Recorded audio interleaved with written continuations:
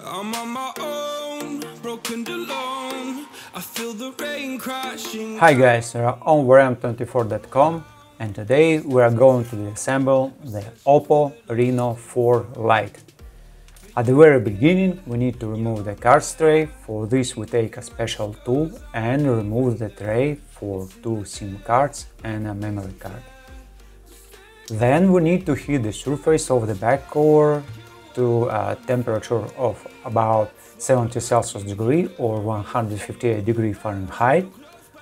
For this we put our device on a heating mat. You can use a hair dryer and as we can see the temperature uh, we have is rising to the temperature we need and after 5 or 7 minutes we can move on to unglue the back cover. Okay, to detach the back cover we will use a thin plastic film. This is part of the protective film from the new display. We insert it into the gap between the middle cover and the back cover and run it along. As the back cover is detached separately from the camera's cover, the back cover will be glued around the camera's cover. So we have to be careful.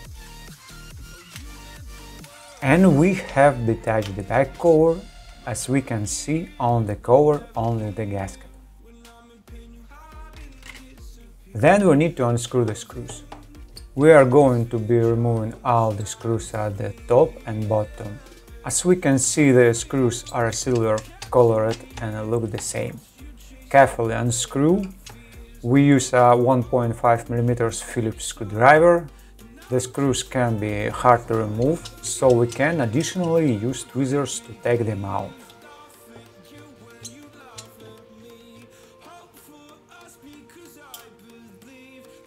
And we move on to detach the middle cover. We use a plastic film. We run the film into the gap near the hole for the card tray and gently run along detaching the clips. As always, we need to be careful in the area of the side buttons as not to damage them, and in the area of the cameras.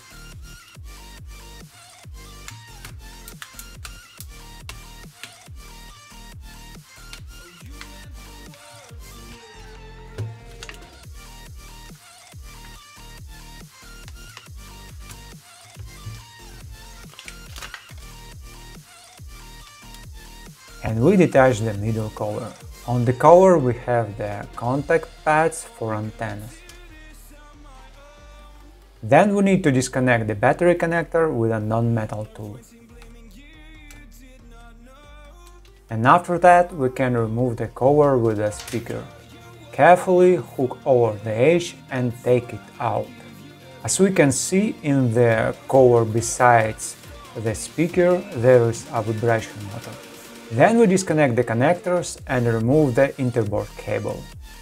By the way, the direction to the motherboard is indicated by an arrow on the cable. Now we can disconnect the fingerprint sensor connector, the coaxial cable connector, the interboard cable connector, and the display connector. Then we pry up the edge and pull the subboard off. The subboard is slightly glued in place.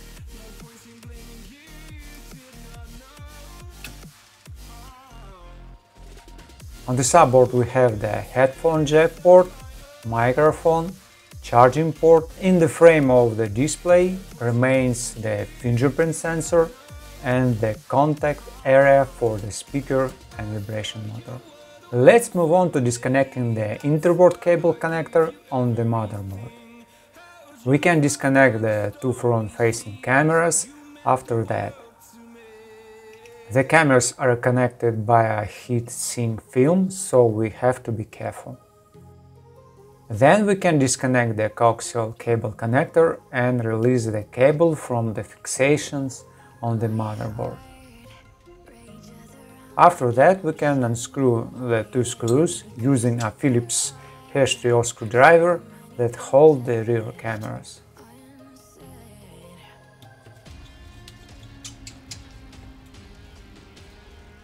And we can remove one screw that holds the motherboard. Please note, these screws are different. And we can remove the circuit board. We find a convenient place, pry up by the edge and pull out the motherboard.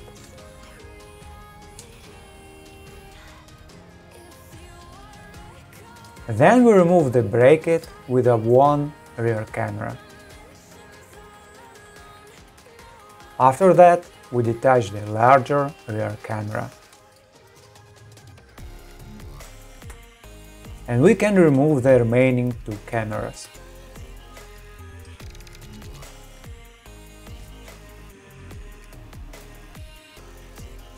There is thermal paste on the back side of the motherboard. And we move on to detaching the battery. We only have one green tab, we need to unwrap it and pull it upwards. Under the battery we have a transparent coating that protects the interboard cable and holds the battery by one edge. Okay guys, this is the end of our disassembly. Thank you for watching and see you around or in the next video.